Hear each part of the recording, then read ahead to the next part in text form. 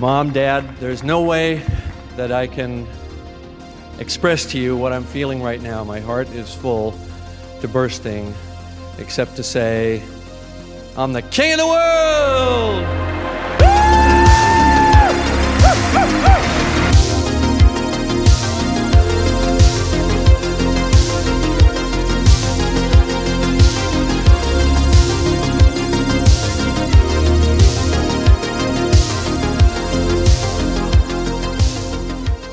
Hello and welcome back to Cameron King of the World. This time we're going to be talking about The Abyss Special Edition, the special edition release of the film that reinstated almost half an hour's worth of deleted scenes from the theatrical version and what I think of it. Um, the kind of history of this cut comes from Aliens, uh, successfully being given a re-release. I think um, I'm trying to remember the dates now because I did that the, that big kind of hyper-focused three videos on Aliens and I've already forgotten the dates. But I think that the once Aliens had been completed and a, a, large chunk of scenes had been cut from the film, Cameron then went back and put those scenes back in, and his special edition cut of Aliens went out on TV in 1989. And then in 1990, um, it was released in the UK. 1991, I think, or 1992, it was released in the States on Laserdisc with a nice special edition. And so that was the the success of that was the the real key to Cameron deciding, and also the success of Terminator 2 in 1991 was the the impetus for Cameron to go back and finish The Abyss. Now, I've tried to find, you know, some interview with Cameron where he talks about which version of The Abyss he prefers. I'm not entirely sure, um, and I might have just missed it. So if anyone could like fill me in on that, I'd love to know. But either way, it was and it is remains the most substantial extended cut of one of his films, and he's done this a fair bit over the years. He's done Aliens, then he did The Abyss. Terminator 2 has multiple versions. Avatar has multiple versions. Titanic he left alone. True Lies he left alone, and The Terminator he left untouched. But uh, The Abyss is by far the most substantial, with 29 minutes of new material, um, which comprises 41 cuts um, that are different to the theatrical cut, whereas Aliens, the special edition, was 17 minutes longer than the theatrical. Terminator 2 was around 15 minutes longer, and likewise with Avatar. Um, if you look at the, the longest version of Avatar, which is the third version, the extended special edition version. I think the, the the collector's extended edition, something some bullshit like that. That's around 16 minutes. So the Abyss is like almost double in length longer as a special edition version of one of his films than anything else that he's done. And honestly, it didn't feel like it. Um, and it's strange because, you know, Aliens has the big Hadley's Hope sequence where you see the colony on the planet before the aliens um, fuck everything up. And you have the scene with Ripley finding out about her daughter, a huge subplot um, brought into the film. And then with Terminator 2, you have the Michael Biehn cameo with Kyle Reese, the dream sequence, and you have the, the very substantial scene story wise for me where the chip is removed from the Terminator's head, Arnold's T 800 character, and Sarah Connor and John Connor debating about whether or not to destroy this chip. And it's a, a very important moment in, in the story that was removed from the theatrical version. Avatar, um, is one of those films that I, I love so much and I only watch the, the longest version because I want to get as much of that world as possible. So for me that kind of all blends in. I don't really because as soon as the extended cut of Avatar came out, which was very it was like a, a year after the theatrical um, release. In fact I think Avatar came out December 2009. The extended version came out in cinemas the following summer, and then by the, the following winter, there was the extended special edition version, or whatever you want to call it. So I've only since it came out on Blu-ray just watched the extended version, but uh, I would say there are some scenes in the extended, the longest version of Avatar that I think are integral to the film and are really important story beats, such as Grace Augustine talking about the, the school and what happened when she was teaching Neytiri, and, and that backstory I think is really important to the film. So, you know, for me, all of his extended versions have something in them. Whether or not I prefer them overall, they have very important scenes in them. With The Abyss, I, I don't think there is anything that is absolutely vital. I do think there are scenes that are very good and should be in the film. And so I've watched it now. I've watched the special edition, and there's just so much to talk about. I haven't even begun to get into this. Um, but The Abyss, the special edition version, Cameron, once the film had come out in 1989, he went in with his editor and basically put all that footage back in and made kind of a cut for his own kind of personal, I guess, you know, archive of of a lengthier version of the abyss with all that stuff that was cut out originally because it was one of those things where the studio wanted it to be you know around a certain length you know because they didn't want to show a three hour movie in cinemas because they couldn't show it as many times and make as much money. 1990 dances with wolves came out and was a very long film and just played like gangbusters and so i think that was one of those things where he thought well you know maybe a longer version of this film can work and there'll be an audience for it. And so this special edition version was commissioned once cameron and his company lightstorm entertainment made the multi-picture deal with 20th century fox which was worth um, many many millions of dollars. He allocated some of that money to completing the abyss and doing some of the special effects shots that weren't completed when they were originally making the film and the the big deleted sequence that comes at the end of the Abyss Special Edition. So with all of that visual effects stuff, you know, completed and ILM were brought back in to finish the work that they'd started, and I think that it was really a case of them, uh, the, the, the kind of technology was not up to scratch for the big tidal wave sequence, which we'll get to later on in the video. So I think that was partially the reason that Cameron decided to scrap the whole tidal wave kind of finale of the film and um, I'm sure that people have varying opinions out there on whether that, that tidal wave sequence should be in the film or shouldn't be in the film. So, you know, all that was squared away, and in 1992, the special edition cut of The Abyss was completed. In 1993, it was released on Laserdisc and also given a brief um, theatrical re release. And I honestly have no clue, no idea, no perception whatsoever of what people think of The Abyss in relation to its theatrical cut and its special edition extended cut. I have no concept of it, and I think again partially that is because the film was never released on Blu-ray, and so the the kind of the conversation amongst collectors like myself who collect all these high definition films on Blu-ray, that discussion isn't there because we're not talking about it because it hasn't been released, and so I feel like the abyss has been left behind in, in kind of in kind of a dark, empty abyss of you know uh, of no discussion. You know, people when people talk about the abyss, they just talk about the fact you know why can't we get it? Why isn't it streaming? And and it's it's kind of popped up here and there on streaming services over the years. I since have found out that the version I watched from the theatrical cut was sourced from either HBO or Cinemax. Uh, it was released there in 2014. It surfaced on uh, UK Netflix in 2017, and I think both versions of the film have been shown on streaming services in high definition over the past 10 years or so. In, in very brief kind of just spotty it'll pop up here and there for some reason. I don't know the full story.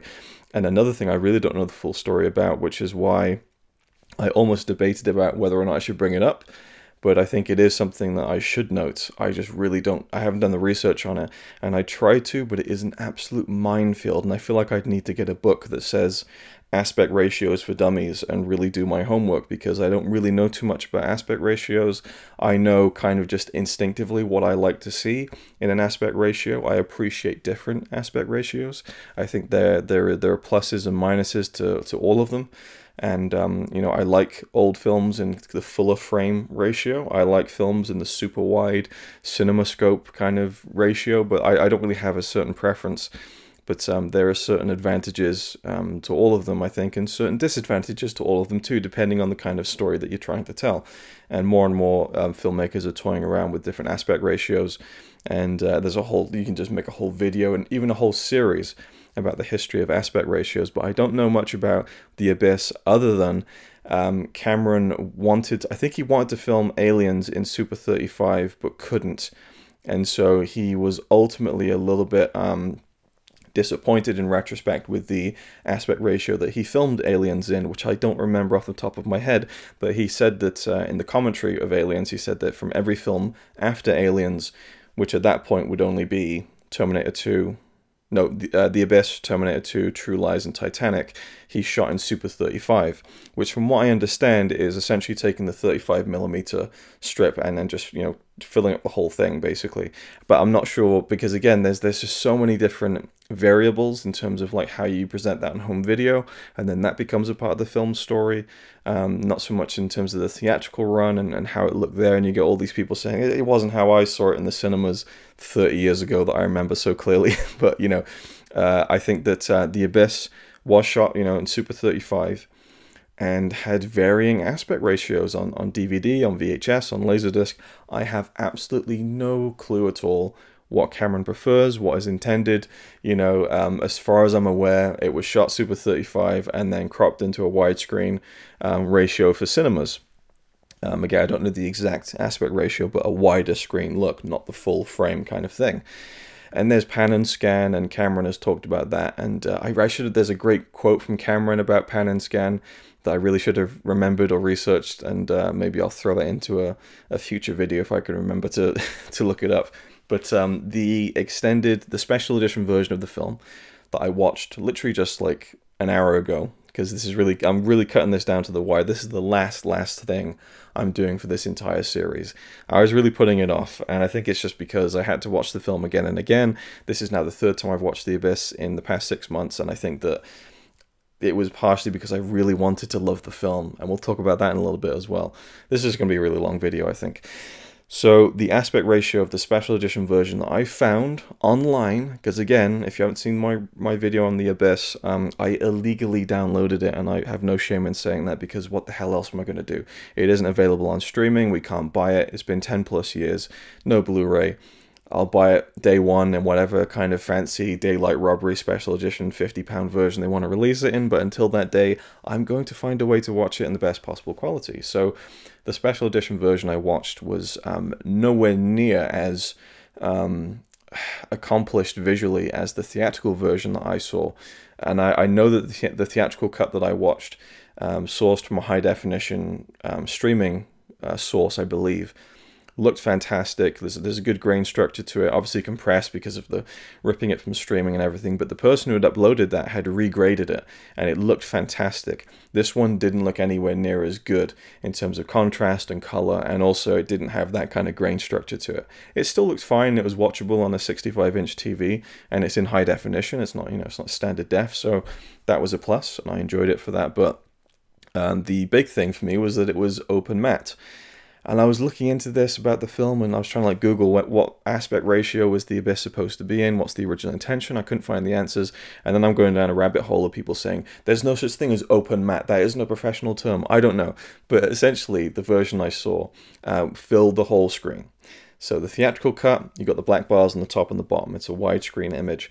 The version for the special edition that I have and have sourced uh, to watch for this series um, is full it fills the whole screen. I don't think that's even the full Super 35 image, but regardless, it shows you more information on the top and the bottom. So I actually put two, the two of them side by side just to see, you know, how much you're missing in, in the widescreen version. And obviously it's been composed with the widescreen in mind, I think, because there really isn't anything that dramatically is like, wow, it looks so much better. But, you know, there are certain sequences and certain scenes and shots where having that information on the top and the bottom, um, it fills out the experience a little bit more. So it was really cool.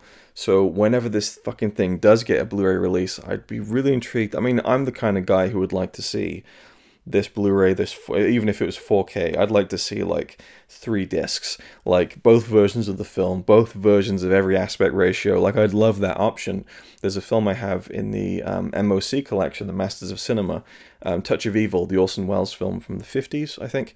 And that that Blu-ray release has, I think, five different versions of the film and three different aspect ratios. So I love that. I love being able to choose, and I would love to see. Honestly, I think I would like to see this film going forward in that aspect ratio because I like I like it filling the whole screen. I'm not like a a kind of um, I'm not pedantic about it like some people like oh I don't like these black bars on the top or on the sides like I really don't care.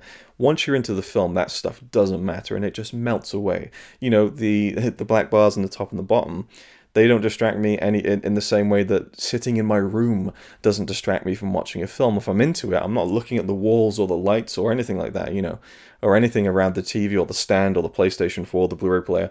That stuff doesn't matter. The same way that the black bars on the top and the bottom don't matter when you're engaged in the film. And there's been some talk about aspect ratios because Zack Snyder's new Justice League is coming out and it's in a more square ratio, not widescreen, and people are kind of losing their minds over it. Anyway, so the version I saw was from what I would describe open matte, but regardless, it is a different aspect ratio to the theatrical version I saw, which didn't dramatically um, improve the experience. But again, there's a few shots where, especially when Bud, Ed Harris's character, is, is walking out to begin that descent into the abyss, so to speak, and it's that slow walk and the music, the ominous music, and you just just seeing everything on the top and the bottom. I think it just um, it enhances that moment, especially when you see him walking to the edge of the kind of trench, and you see the deep core set around him, and you can see that's a person. You can see this isn't a miniature. It's a really breathtaking shot when you see the extent of the the full deep core set that they built in that tank um, when they filmed it, and uh, it's just uh, one of the best visual shots of the whole film, and that is helped, I think, by seeing more information on the top and the bottom. Just me. Anyway, the film itself, um, the special edition changes. I mean, there are certain scenes I think are really good, but there's nothing that blew me away, or not even necessarily blew me away, because it's not what you should really be looking for. But there's nothing that I thought, wow, I can't believe they cut that out. You know, and there's a few, I don't know, there's there's beats here and there that I think just, you know, maybe not so much you know, there's a couple of things, um, and I'm trying to think of how to even best approach this. Like I said, 41 cuts, 29 minutes worth of new material. Actually, before I get to that, before I get to the special edition stuff, let me just give you my kind of thoughts on how it changed my viewing of The Abyss. I think I enjoyed The Abyss this time around a little bit more than the previous two times I re- revisited it for this series but not because it was the special edition version, just because I'm watching it again and again, and I'm becoming more familiar with the film and some of the finer details, which I do think aren't necessarily clear when you watch it. I don't know, And it might just be that my mind was slipping during key moments, but um, the sequence when the crane that is kind of attached to the deep core from the Explorer ship on the surface of the ocean to the deep core station down on the seabed, um, they're connected by an umbilical, which I guess is um, how they move the deep core um, station around the ocean bed. And at some point, there's a storm, and because they're still attached and they haven't been able to detach in time, the crane gets like destroyed and pulled in. And I honestly had no idea why that really happened. I, I, guess I just wasn't paying attention the first two times, but this time around, you know, they're saying if we don't get out that umbilical detached, then we're not gonna. I was like, oh right, okay, that makes more sense you know and that isn't a special edition change an addition that's just it's just one of those things sometimes where i think that um, but I, I, I, I will say I do think some details of the story and the characters and um, well, maybe not the story and the characters, but the, the, the kind of technical details of things that are going on in the story could have been laid out a little bit more clearly, even though I do appreciate when a filmmaker doesn't do the hand holding and the lathering on of exposition that they like to do, which is understandable, but at the same time, I, I enjoy it when I have to figure it out for myself a little bit. And so now that I've seen the film a few times, I don't think it's an issue. But um, for me, certainly the, first time I watched it or rewatched it last year, it was like, oh, what's that? Why, why is that crane an issue? Like I wasn't entirely sure. Um, and Connie, who had watched the film with me six months ago, she didn't rewatch it the past two times I've rewatched it, and she was sat next to me earlier tonight, and she was already already calling stuff that was about to happen. Um, so clearly, her memory on certain details in films can be a lot better than and sharper than mine can, because I certainly wouldn't have remembered what was going to happen next six months after the fact. Anyway, that's a whole other aside. But overall, I think I enjoyed the film more, but it didn't give me that extra oomph that I was hoping it would. It didn't bump it from a 4.5 out of 5 to a 5. And I do, admittedly, hand on heart, you know, I completely own up to it. I, I do fall into that trap of wanting a film to be like a full marks kind of film because it's from someone who I really love. It's like, oh, he's, he's one of my favorite directors and I can point to at least four of his movies and say that five star, five star, five star, five star. And I kind of want The Abyss to be a five star movie for me, but it just isn't. And I'm going to have to try and let go of that. And again, like I said in my, my main review of the film, maybe that'll change in years to come. That's entirely possible.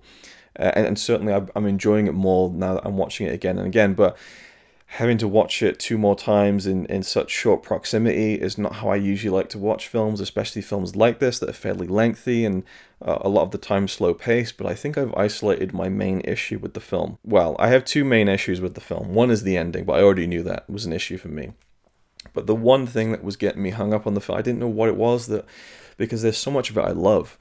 There's some great acting. The the technical aspects and the visual aspects are just absolutely breathtaking. Just such an achievement visually and you know, technically again just how they managed to mount that production. It, it, was with great difficulty and with a lot of stress and trauma but you know um, it all comes through on the, the the big screen on you know in the end of the day and the final product. But the one thing that I just what is it about the film that I'm not fully connecting with that's kind of throwing me off? And it's the first act.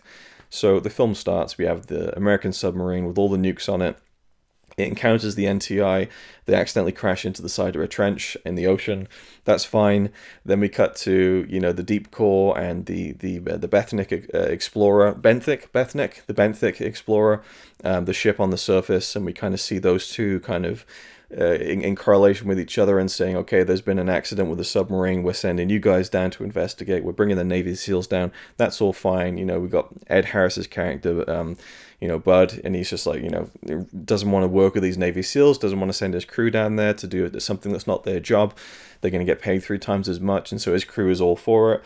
And then they go down to investigate the submarine. This is all fine, but once they go to the submarine, about half an hour into the film, that's where I struggle, and I don't know why because it's a good scene. It's a really good scene, but it's just it's very slow paced. Um, and and I, I, said in my review that the film is very. I don't think the film is that slow paced. I just think it's that sequence, and it's a fairly chunky sequence, and they're they're methodically working through the submarine. And in the special edition version, it's even lengthier because they really expand that whole sequence. And, and I really love a lot of it, like seeing all the you know the idea of this submarine that crashed and was you know all the water came in and there's bodies and stuff and there's so many impressive visual moments in that uh, in subtle ways i think that you just think wow they, you're just the dead bodies alone and seeing the actual people there playing the dead bodies and, and being completely convincing is a very impressive thing to put together in front of a camera i think with the lighting and the people there's just so much at play there and it's very risky stuff but and maybe they use dummies i don't know if they did they did an amazing job. But regardless, there's just things about the submarine sequence that look great, and you know it's a good scene. But I always kind of almost switch off during it, and I, I my mind starts to drift, and I almost get a bit sleepy. You know, I was watching it tonight, and I've had plenty of sleep. I don't feel tired at all. But once that scene hits, it's like you know, I'm, I'm just trying to like wake myself up a little bit. I don't know what it is. It's just, again, it might just be the time that I'm watching it and just the mood and everything. But that sequence to me just seems to be a little bit too slow maybe I don't, but then I don't want it to move quicker because then I, I, you're rushing things, so it's just tricky, and that's why I'm not a filmmaker. You know, but I think my issue with the film is that first act in terms of it takes a while to get the gears churning, but even again, it's a complete, you know, it's a complete dichotomy because I don't. I don't like it when, when films rush through those plots either, and I think that um, giving time to those things is really valuable and key to having a, a story that pays off in a movie is giving everything its due time. So it's tricky. I don't know. It's just tricky. I don't know what the fuck I'm talking about, but it's it. I've definitely isolated that I struggle with that sequence, the submarine kind of um, salvage sequence, if you will. Once they get back and things start to kind of get going again, I think that's when I really get into the film, and that lasts like you know two hours in the special edition version, I'm really into it and I'm just loving it. You know, I think it's the it's when the crane accident happens and everything kicks off on the deep core. The, the film kicks into a, a different kind of gear and never really lets up. Even in the moments where it slows down, it's all great character stuff. You know, and I again I, I sung the praises of the moment when Jammer is um, the guy who kind of panics inside the submarine and he's kind of you just see his point of view and hear the breathing and he's pulling the rope and it's all frayed and he's alone and it's dark and then the blue lights come up. Incredible moment, but you know overall the submarine sequence just seems to, and I don't know why, but again maybe in, in repeat viewings things will change for me on that. Now, the special edition, um, I, guess I have to talk about the ending when we get to the ending. So, the special edition changes and additions to the film. They're, they're spread out throughout the whole thing, and it's just all just new character stuff, really. There's, there, apart from the ending, there's nothing hugely significant in terms of like a big scene or a big subplot introduced. We get more of Bud and Lindsay, which I really appreciate because they're the two best characters in the film. And we get to see a sequence where they kind of they're at each other's throats and they're talking about the fact that she has a new lover who she's now not not with anymore. And so I think maybe that was a wise decision to cut that because Um, it kind of almost muddles muddies the water a little bit, where it's like, oh, she's actually with someone else, but not really, not anymore. I don't know. Maybe it kind of well, maybe not. I mean, I watch it and I, I completely read it and it's fine. But um, I can understand maybe why it's not the most vital scene to keep. But I enjoy just having more of them kind of bouncing off each other in, in, in kind of a negative way. But you can tell, I mean, it's a really well done relationship, I think, because you feel you feel how they've been drawn together and you also feel why they've been driven apart.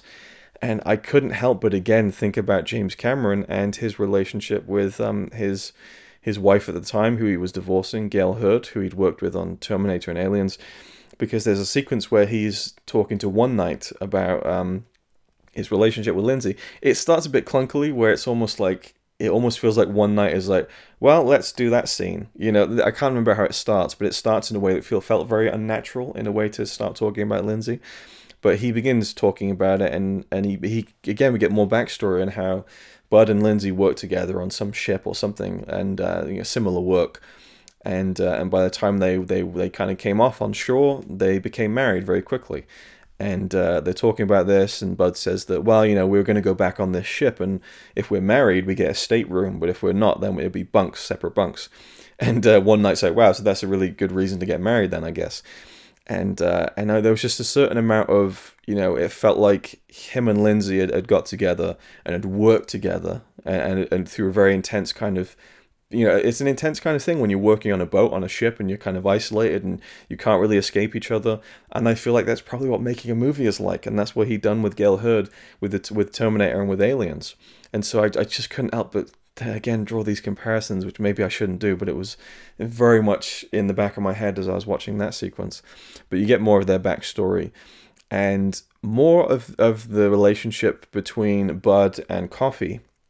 Not that there's much of a relationship there, but the the interplay between them and the tension between them. You know, you get him coming up and, and kind of talking to Coffey and apologizing for the gruff nature of his crew. He replies very gruffly to him, and you know they think he's a bit of a dick and everything. But there's a really great scene which I would say should have absolutely stayed in the final cut, in which Coffey is is trying to like take things over, and he says to One Night, you know, um, have you done this certain thing yet? And she's like, no, I was doing my nails, you know, just like she's basically just saying, fuck you, I'm not taking orders from you, you're not my boss. And he gets really, you know, look, you're under my authority here. And so it gets really tense, and like Catfish comes in, and he's just like, you know, you're not the boss of us, we're not going to do what you say. And Bud steps in, he's like, hey, you, do you want to just go go over there, check the sonar, you know? And and he completely kind of dissolves the kind of tension, and Bud steps in and tries to kind of reach a level with Coffey, reach a compromise, and that's a really great sequence because it shows you that um, Coffey isn't this like you know he's he's clearly a little bit amped up. And as we saw from, you know, as soon as he gets down to the deep core, his hand starts to shake just a little bit. And I noticed this time that I didn't notice the first time around when he first gets on the um, the video call with his boss up on the the surface. Um, his eyes twitch just ever so slightly. There's a little bit of a an eye tweak, and it's a really subtle thing Michael Biehn did that's fucking brilliant. And just it just sows all the seeds that begin to you know sprout and explode towards the end of the film or towards the end of his you know final moments of the film. So that sequence i think was really good because it it, it just it didn't feel like coffey was the enemy so much. And it felt like bud was not just like oh this guy's a dick and he's not the boss of our place and we're not going to do anything. But like he's like bud is actively trying to help things out and he says to one night can you go can you could you go and do this for me and she kind of begrudgingly agrees and kind of almost shoves past coffey so it's this kind of you know he's trying to to to make things better for everyone. And you know, Coffey, you can tell, you know, he's not trying to be a dick. He's just trying to do what he thinks is the right thing, and that just makes his character more sympathetic. Um, as you begin to see him just completely just dissolve as as the film goes on. Uh, not that I think he's an entirely sympathetic character, but I do think there's there's there's more to Coffey than just the bad guy or the guy who goes crazy. Like I don't know, I just think that uh, even the even the part which isn't a new addition, but it's when he went down with his crew, you know, without the permission of Bud, to take all the, the, the flatbed down to retrieve the warhead. And, you know, they're all pissed off about it. The big accident happens. And then Coffey says to Bud, like, look, I'm sorry. I don't know if he says I'm sorry, but he says, um, it wasn't my decision. It, I was, it was, I was, what do you say? I was working on orders. Like it was, I, no, I was following orders. It wasn't my decision, you know? So even then Coffey's trying to, you know, reach out the olive branch to, to Bud and say, look, I'm not just, you know, being a dick here. Like, I just had to follow orders. I'm sorry. Again, I don't know if he actually says I'm sorry and apologizes, but you know, I like that there's and and in the special edition you get a little bit more of that, and there's a really great shot in the special edition when tension gets really high with with Coffey and the rest of the crew, and they all leave, and he's left alone or with another one of his uh, seals, and uh, it's a brilliant like real shot like there's no miniatures or anything where he just kind of leans against the um the wall and it's the camera shot is outside the window the porthole and you can see he's just so stressed out and he's just like like what's going on? Like what what is happening to me? How am i going to get out of this? Like have i taken things too far? All this stuff is coming out of his performance as he just kind of rests against the kind of you know, looking out of the window and the camera just pans out and then like slowly tilts down. You see the deep core and like down into the you know the, the kind of the ledge of the you know the trench and the abyss and it's just a really great shot. I mean it's a lengthy shot but it, it shows off the sets but it also shows you his isolation as the camera just pulls back. It's just a brilliant visual moment i think um, really should have stayed in the film and so there's there's lots of different things, little little tweaks here and there. There's a lot of more stuff about the radiation from the nuclear warheads on the submarine, like that. There's loads of little additions in there where like um, Hippy is like really concerned about the radiation from the warheads, and they they do a meter reading of it when they get to the submarine. So there's lots of little things like that. And from what I'd heard, they lean more in the special edition into the kind of um, the Soviet kind of like Cold War kind of um, storyline in which there are Russians out there in submarines. There's an American submarine with warheads, nukes, and you know the tensions between those two countries, those two entities, and um, it didn't actually feel that way to me. I mean, there are, there are certain bits, you know, where Lindsay is um, hovering over the submarine and she's asking just how much firepower is behind these nukes and how many are on board this submarine, and she's like, "Wow, it's like World War Three in a can." So that's a new line that was added for the special edition, and there are a lot more um, broadcasts from the news on television and like the the nuclear fear and uh, the Russians going to attack and all of this sort of stuff. Uh, the Americans getting ready with all of their nukes and all this stuff becomes public and it starts to really you know, create this kind of public panic, and they show that through TV broadcasts, which are received down on the deep core. So there's a few bits of that in the special edition, but I didn't think that it leaned into it hugely um, compared to the theatrical version. It just accentuates it a little bit. So I was actually expecting more from that, not in the way that it disappointed me, but I thought that it would be like a almost an overbearing, you know, kind of um, subplot or an overbearing kind of element to the story that would override things and feel a little bit too extreme. But it was it, it worked with the, the story that was laid out with those that nuclear warhead that gets brought on board the deep core and what causes a lot of the problems. Uh, one thing I forgot to mention um, in my original review of the film is the score by Alan Silvestri. I love the score, um, especially towards the end. Towards the end with the the alien city or ship, I still don't know what that fucking thing is. Uh, oh, the music is soaring and beautiful when they reach when Bud reaches that that location. It's just such a it's like a big payoff both visually and with the music and I, I love the marrying of those two things in, in certain moments but there are many like uh, exciting action scenes in the film um, I think like when the deep core the water's rushing in and everything and also when Coffey Lindsay and Bud are having the two the collisions with the two uh, the submersibles um, towards the end of the film. The kind of the actiony kind of cues from Alan Silvestri feel so much like the Predator they really feel like his score for Predator. Like there's just not like that he uses the same cues, but the kind of instruments and the kind of tempo and the kind of the sound of it, you know, it just feels very much like um, Predator and kind of some of those scenes. So that was one of the things that it really reminded me of. But it's overall, I think, a very good score. I didn't know what to call the water tentacle thing. It's apparently called a pseudopod, which I did know, but I don't know what that entirely means anyway. Um, so yeah. Anyway, where am I going with this? I, I've suddenly lost the plot.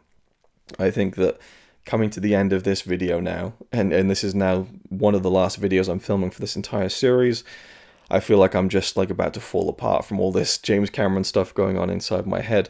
And just to kind of date this video a little bit, Avatar just became the number one highest grossing film of all time again uh, just a couple of days ago, and I might do a separate video about that. But it's so funny to me. The irony is not lost on me at all that I've made a video, uh, I've made a series of videos, I should say, entitled Cameron King of the World, which is, yeah, it's kind of a jokey title, kind of tongue in cheek, and he became the quote unquote king of the world again um, during like smack dab in the middle of this series, you know, coming out live on my channel in March of 2021.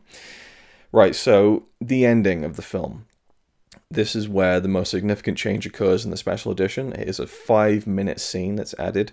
So in the theatrical cut, Bud goes down to the big alien ship. We'll call it a ship for argument's sake. He goes down to the um, the ship and he takes off his helmet and the water comes out the air comes back into his lungs and there's two walls of water on either side of him on one wall you see the aliens and again we'll just call them aliens for, for the sake of this uh, for the sake of this video on the other wall we have projections and uh, he asks why did you save me and they very simply show him the screen of what he typed into his suit saying um, love you wife to to lindsay and so they're basically saying that we recognize that you you have kindness and love in your heart, so we saved your life. And that's it. And then they bring him up to, bring him up to the surface. He reunites with Lindsay. The the kind of the ship is now on the surface of the water and everyone sees it and we cut to credits. That's the end. And it felt very rushed to me. So I was kind of hoping, and I, I really can't remember if I've seen this before, the special edition version. Connie seems to think she has watched it before, so maybe we did 10 years ago, but I really can't remember it. Again, I feel like, like I said before, with the tidal waves, I feel like it was something that I probably would have really remembered from when I watched it earlier, but I just, you know, it didn't feel um, like I'd seen it before. I don't know. So I, I guess I'll never know because my memory is not that good to remember every single fucking thing I've seen throughout my entire life. And, and The Abyss isn't one of my favorite movies, so I don't obsess over it as much as I do other films.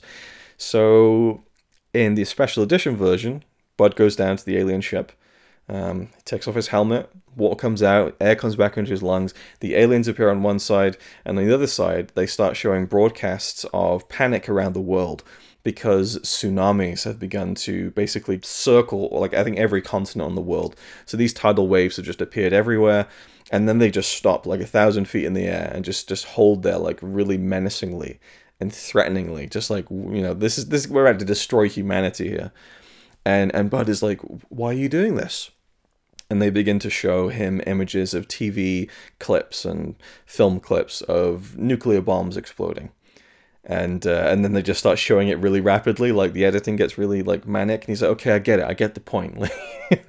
Which is kind of what i was thinking like okay you're laying it on a bit thick. And bud's like okay i get the point i get the point. And he's just like but but why why do this to us? How do you know? And, and that was probably the only part of that i really liked was when he's like how do you know? You know because there is this this this knee-jerk feeling i think from people to just condemn others on mistakes that they've made. And obviously, in this case, it's framed through the the the big idea of the mistakes that humanity have made along the way and how we have destroyed each other. And that's a very big thing. It really is. But I think just on the basic human level, I think that we, especially now in the age of social media, we're very quick to condemn people on their mistakes, and it's like an absolute you know, and not to the point where we're going to kill them with a tidal wave, but to the point where we cut them out of our lives and we say those people are cancelled and they're done. Now, that's a whole other topic. Don't get me wrong, and there are some people who get quote unquote cancelled that I think should. Uh, in a lot of cases, that's career stuff and that's famous people, but I think just there are certain things where I think we're too judgmental. Sometimes we should be, but I also think sometimes we shouldn't. So when he said to them, But how do you know? And it's like, well, how do you know this person is going to keep making the same mistakes? How do you know that they're not going to learn? How do you know that they can't be given a second chance and, you know, and act on it and deliver upon it? You don't know. So it's it's it's all well and good to say that you know person number A has done something bad, so we are going to punish them, and that is that, and there's no coming back from it ever. Um, but it's not quite as simple as that, you know. So I liked that bit, just that simple bit where Bud says, "But how do you know?" Right?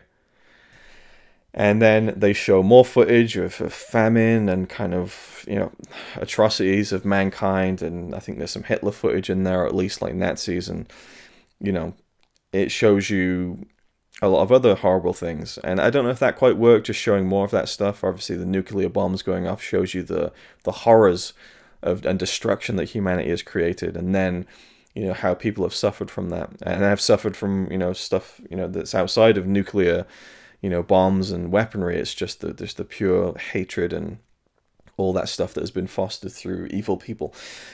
And then they um, the waves disperse and they go down and they they spare humanity. And he's like, why did you do that? and this is where the scene gets a bit clunky for me. It's just him looking at screen saying, you know, why this? You know, why that? Well, well, how do you know? Okay.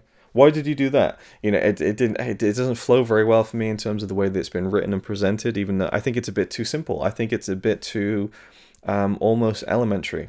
I think you know, which people may really disagree with me on that, but I think that it's uh, yeah, it's a bit too on the nose. And Cameron has been on the nose, but I think that, that sometimes he gets away with it. A lot of the times he gets away with it. This time for me, he doesn't quite get away with it. And and then they then they show his mes- his messages to Lindsay, and you know um, that he knew he was going down there to to risk his life or to to sacrifice his life.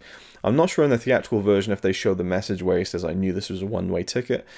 But um, they you know they basically say to him by showing him the message that we saw that you were doing something selfless, that you sacrificed your life knowingly to save others, and that you have a love for someone else, and that's given us you know cause to you know rethink our very you know measured decision to to kill the entire planet. I don't know. So I, I think it just it's a bit too it comes out of nowhere. You know I, I prefer the theatrical cut where even though it's rushed you're not bringing in this whole subplot of the aliens are going to try and kill the whole world for what they've done. And then, you know, when Bud comes back on the, the kind of the keypad and he's messaging the, the crew on the deep core and they relay what he's saying up to the surface with the um, the benthic explorer. She's, you know, Lindsay saying, oh, you know, Bud Brigman back on the air and all of this stuff and it's it's it's very brief i think you know and like oh i've made some new friends down here. You're gonna love this. And that's when the, the ship comes up. But in the special edition version he explains that um, i've made some new friends down here. They're not happy with the way that things are going on the surface and they think that um, you know you need to step up. You know humans need to, to change things and all this. And it just it's very it's i don't know heavy handed you know I don't think it works entirely for me, and it just again the original ending kind of comes out of nowhere. Well, it didn't come out of nowhere. I mean, they build build up the NTIs, the non-terrestrial intelligence creatures, perfectly. Actually, very, I mean, from the very opening scene of the film to the finale, that's actually beautifully built. What comes out of nowhere is kind of where the end, where the film ends because you end with them on the surface with this ship and you know Bud and Lindsay reunite but then just it just ends. So where does the ship go then? Do the aliens come out? Is there any further communications? Does the ship fly off into space? Does it go back down to the bottom of the ocean? Are they going to stay there kind of with a watchful eye on humanity? We know what's going on. In the special edition version we find that they've been judging humanity and have been learning what they've been doing.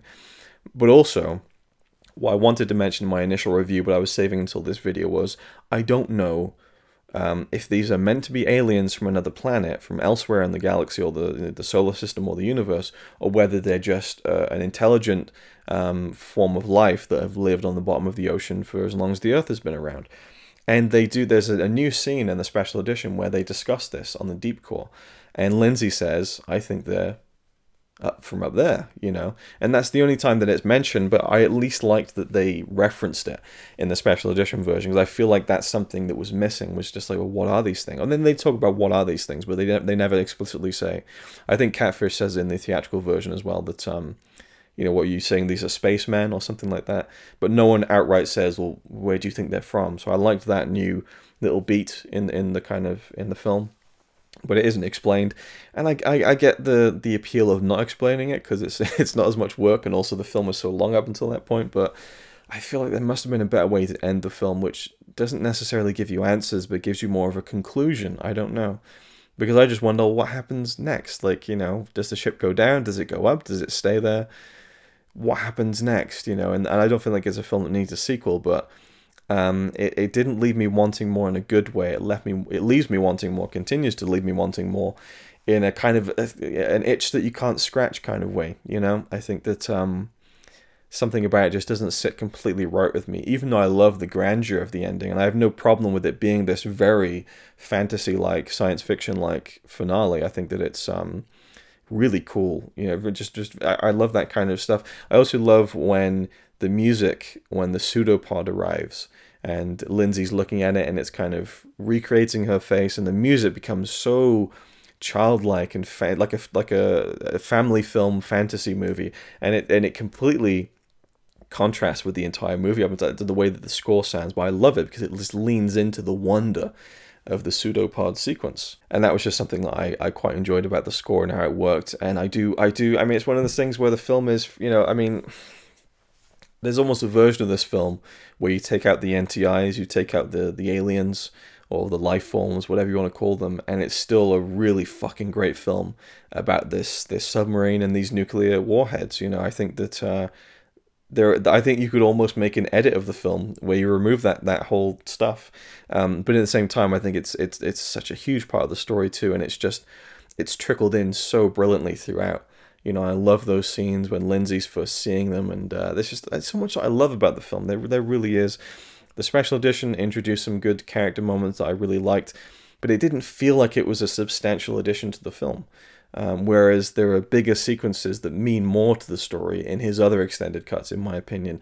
The only thing that feels new and out of place, not out of place, but feels new and substantial is the the new ending with the whole tidal wave sequence and uh, yeah, it looks good, and I love tidal waves as kind of a one of those things that kind of scares me and intrigues me at the same time. Brings me back to being a kid and being fascinated with anything that was larger than life. Like, what's the tallest building? What's the biggest mountain in the world? What's the biggest mountain in the solar system? I loved all that epic scale stuff. So, a huge tidal wave just appeals to my sensibilities of really enjoying the wonder of large scale, almost impossible um, occurrences in nature and uh, you know it's just always fascinated me and scared me at the same time, which is why it was so exciting and kind of nerve wracking to go to the top of the Empire State Building for the first time, uh, probably the only time I would say it's uh, you know you, you, get kind of the shaky knees. I remember going to the Eiffel Tower and just being like it kind of excited me so much, but really I was so nervous being on that Eiffel Tower. I was a kid at the time. I probably handle it better now, but we went like almost halfway up onto the second level and just looking up just oh it made me dizzy you know but i enjoyed it at the same time so that's one of those things so the tidal wave stuff i love it visually but i don't think the whole the very rushed like um oh we're gonna kill humanity now no maybe not all right, okay, see ya. Like it just, it's so, it just feels so almost slapped on, even though there must have been so much that went into the design of that whole sequence and everything. So it's just, yeah, it's tricky for me. I just have to live with the fact that I don't fully love The Abyss because the ending doesn't work as well as I think it should. And I think the whole film is so good up until that point. If the submarine sequence at the beginning in the first act was a little bit tighter, more effective maybe, and didn't make my mind drift as much, and if the ending, maybe, again, maybe if the ending had more time, which, you know, I, I didn't certainly didn't watch the special edition version, which is two hours and forty minutes without credits, two hours fifty with credits. I didn't feel like it was too long.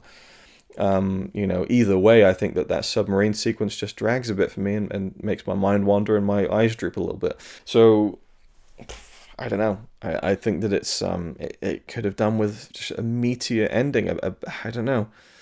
It's tricky because I think it was definitely the right move to not have the NTIs speak or communicate in a in a way that was you know like if they typed back on the machine or whatever, I wouldn't have liked that. I liked that it's this non-verbal communication.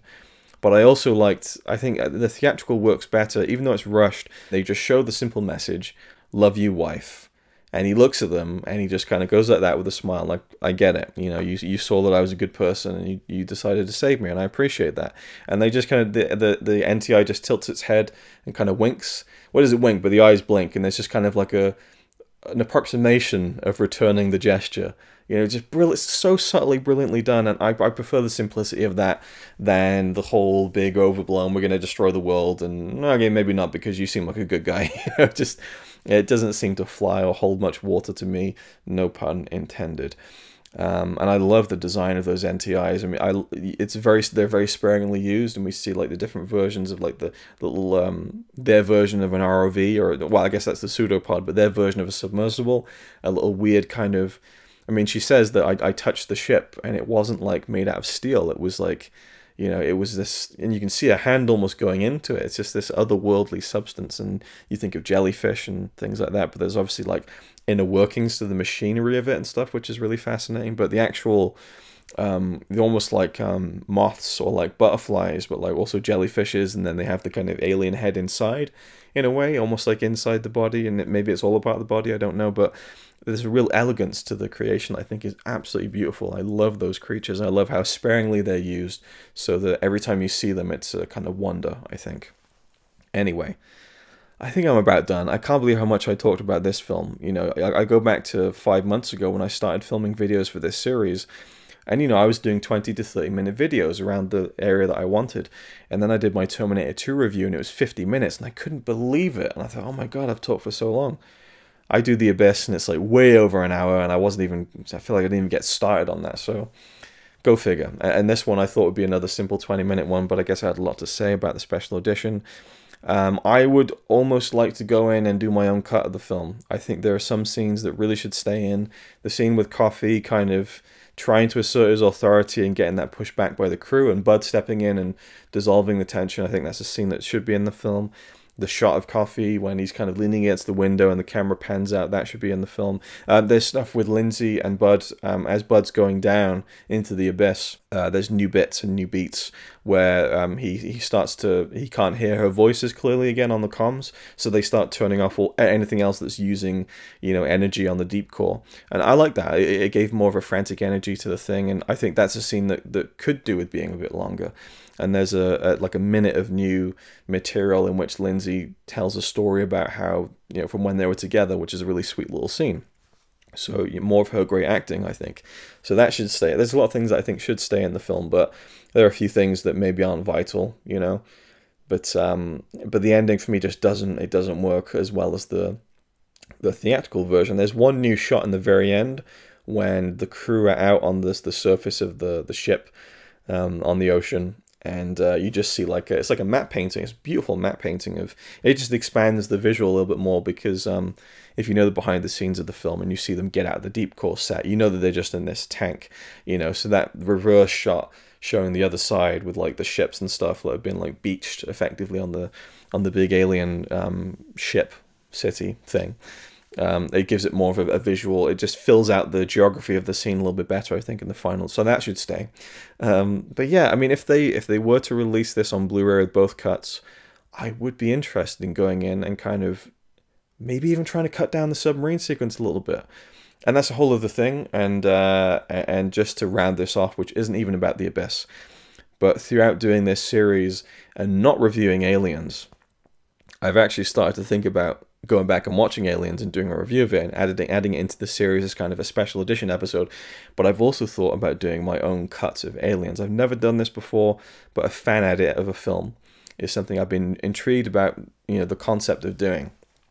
And I'm now currently working on my version of Aliens, which is a very minimal re-edit. There's just a few things I wanted to change just to see if it would work. So I might make a video about that in the future, but now that I'm doing that and I'm really loving the process of it, even though I don't think that you know, I mean, there's you know, do you touch someone else's art, you know? And I think if it's for personal enjoyment, I think that there's, I think that anything's fair game in a way. When you, you obviously you can't make money off it or show it to anyone in that sense, especially with a fan edit of a movie, but there are certain fan edits I've heard of where I just think people are being so obnoxious with them, and and just very silly and and trying to reinvent the wheel, but just certain minor things I'm interested in, in kind of tinkering around with. And with The Abyss, I'd love to just take the the original ending and the theatrical version, as much as I think that one is still rushed, um, but keep some of the the really good special edition scenes that, for me, add more to. To, to Lindsay and Bud's relationship, but also mainly, well, not mainly. I think mainly Lindsay and Bud's relationship is is the the best thing that, that, that benefits from the special edition. But also, I think Coffey's character gets a little bit more rounding off. Um, but also, there's a really small beat. Uh, there's so many things I'm probably going to forget. But when the crane collapses and everything kicks off in the deep core, and there's like fire going on and all this stuff, and things are collapsing, water's pouring in. A Monk, who is one of the Navy SEALs, he gets trapped under underneath kind of a metal girder or something, and Lindsay comes in and saves him and pulls him out. Now, throughout the whole film, he's like limping and he's kind of laid out and stuff and uh, I don't think you see why in the theatrical version to the point where I thought he was the seal who um, who was in the water in the the moon pool I think it's called when the submersible falls on top of him and he puts his arms up and stuff. But I think that's the other guy who had kind of a, a kind of a bandage around his head and a little bit of blood trickling down. I think that's the case. So with the special edition, with just like a I think it's like a seven or eight second edition, you see that he uh, that she saved him. That's why he, his foot is fucked up because uh, I thought that his foot was fucked up because the thing fell on him, which doesn't make sense because it falls on top of his head. So it was a different person, and I didn't get what really was going on. And there is a scene later on where I, I think that's only in the special edition, I'm not entirely sure, where he says to Lindsay, thanks.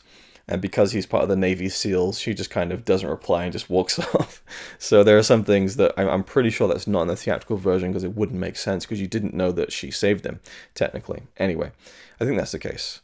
So yeah, I, I didn't get this one entirely. Like, there's more research I could have done, I'm sure, about what what Cameron prefers and everything, and certainly the aspect ratio thing, which I just, you know, I don't know too much about, and I don't know what the original intent was or anything. But regardless, that was my thoughts on the special edition version of The Abyss. It's not quite my preferred version, I think, based based on the ending, but there are some scenes that I think absolutely need to be in there. But it, it, but again, even with all that stuff, and it might just be because I'm not as, as overly familiar with the film, so I'm not noticing. Is like, is that is this was this the theatrical version that I watched last week? I don't know, so I'm not entirely sure. But you know, 30 new minutes of footage, and it doesn't quite feel like you know, that it is, you know, and it's probably just because I've seen Aliens and Terminator 2 so many times that when I see the special edition versions, those new scenes really stand out to me because I, have grown up with those films, watching them again and again and again. The Abyss, that never happened, so that's probably why it doesn't feel like to me there's 30 minutes of new stuff. But it is a more substantial thing where it's not like big scene here, big scene there, big scene there. It's like like 10 seconds here, like a minute there, a minute there, a minute there, a minute there. There's so much. Um, again, 41 additions to the film, or all minor alterations and changes. So it's a it's a pretty substantial one um, by his standards, anyway, in terms of the director's cuts that Cameron has put out there over the years. Anyway, mercifully, I'm going to end this video, and there's probably more I could talk about that I've forgotten about, but that's that's pretty much in almost an hour my thoughts on the special edition version of The Abyss. Well worth watching ending doesn't work for me as much as the theatrical, which again doesn't work that much for me either. And I really wish the ending of the film worked better, but I'm sure there are people who, who love the ending. Um, I, again, I don't know. I have no, I have no concept of that. So please let me know your thoughts and what you think of the Abyss in, in both of its versions and everything else in between. And I really hope the film gets a Blu-ray release or a 4K release soon because I, I feel like the, the time is ticking and well, I mean, I, I don't know. I mean, it's not that there's a time limit on it, but there's also, I just think that people are getting really fed up now with not having it and not being able to see it again in the best possible quality. And I've been reading things, and there just seems to be no movement. And I think the Disney, I think I said that before, the Disney acquisition of 20th Century Fox has really put a kind of a block on that, which is really unfortunate. But yeah, I don't know. I mean, even even if it was just Disney Plus releasing it, in like you know in 4 and they, they can release it in an ultra HD that would be a really big selling point I think for a lot of people maybe so I don't know and and I'm assuming that they own now own the rights to Titanic and I'm not sure about the Terminator movies no I'm certainly not the first Terminator movie not not even the second one of course not but he so there's Aliens The Abyss I think he did True Lies. I'm forgetting some of these details now, but there's at least Titanic. They have Avatar on Disney Plus. I'm sure they could put Titanic on there, and I'm sure they could put The Abyss on there. It's just a matter of doing it, I suppose. And, you know, streaming is the future for a lot of these companies, and, and anything is an asset, I suppose. But even if we just got that, a way to watch the film in really great quality, I'd settle for at least that, and just for it to be part of the conversation again, you know. And so, because it just it really is a film that people don't talk about much because there's there's no real great way to watch it in our current era and generation of home video.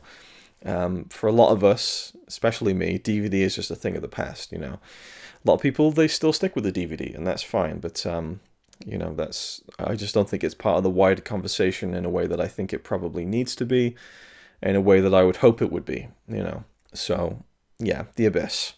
Great film. It, it really that's the thing. It's a great film. It just isn't like a masterpiece to the point where I want it to be, which is which is kind of a shame because then it's more about me and what I want it to be and I don't know. I think that's not the right way to look at a film, I suppose. But you know, I just because I love Cameron so much, I almost feel like it needs to be this five star classic, and it isn't quite that.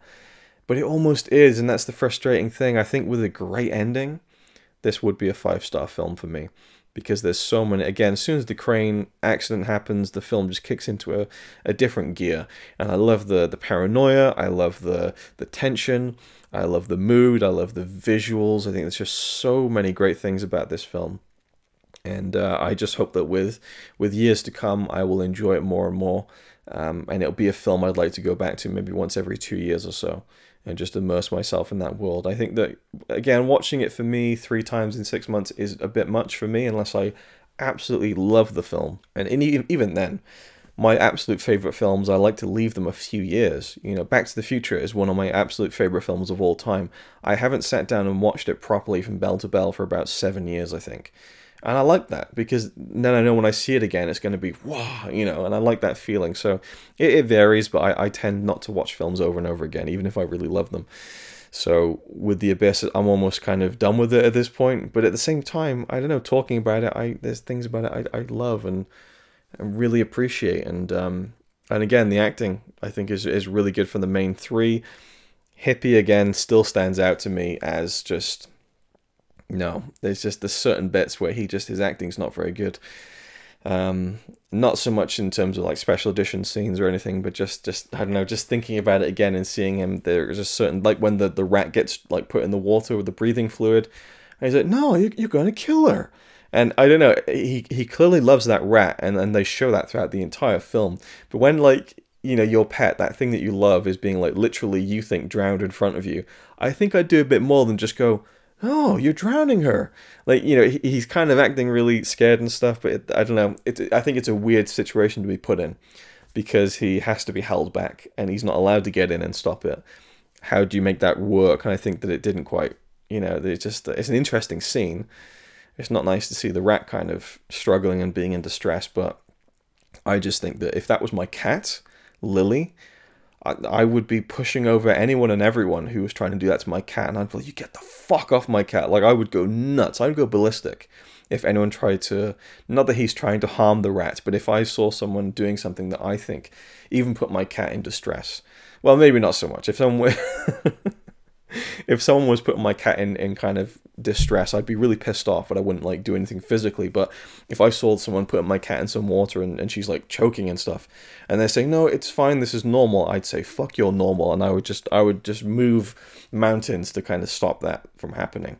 So I just, I, I don't buy his, you know, and even at that point in the story, you don't know that he loves the rat as much as he does because he, he kind of, there's that great beat where he puts it in the plastic bag and later on the the submersible is rolling around inside the deep core there's water going everywhere and he needs to get out to the door but the rat is behind and so he's like he pauses as if to say right am i going to save myself or am i going to risk my life even more just to get my rat and he goes for the rat, you know, and I, I like that. I, I, like that part of the character. I like the, the beats where the rat is like just sitting on his headphones and stuff, and and there are parts of his character that I do like, but you know, he's a bit grating, and there are just a few scenes. Like I said, about 30% of his scenes, I would say, I feel like I'm watching someone act, and it kind of it doesn't drive drive with the rest of the um, the cast, I think. And one more thing, the character of Sonny.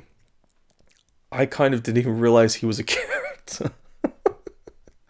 um, so there's there's a, a, character called Sonny on the Deep Core crew, and he has kind of similar hair to Catfish. It's, it's straighter than his, but he has a similar kind of mustache. Catfish has a full fuller beard, I think. I thought they were the same character. so there's a scene in the special edition when the accident has happened and, and Sonny is there and he's on the he's trying to get through on the comms to the surface and he's just like, Man, I just want to see my wife again, just one more time. You know, it was a really heavy moment. I just thought, oh, that that's not catfish, and and suddenly I realized, oh, this is a whole other character that I kind of didn't realize was in the film, and I think their similar looks just didn't help things, you know. But you know, I, I certainly I can relate to not wanting to make every character look completely different for the sake of audience recognition. But I do think that that Sonny's character is in periphery to the point where I actually thought those two characters were the same. Anyway, on that note, I'll leave it there. I do love the Abyss. I wish I loved it even more, and I'm I'm learning to live with it. Thank you for watching, and I will see you again mercifully in the next video.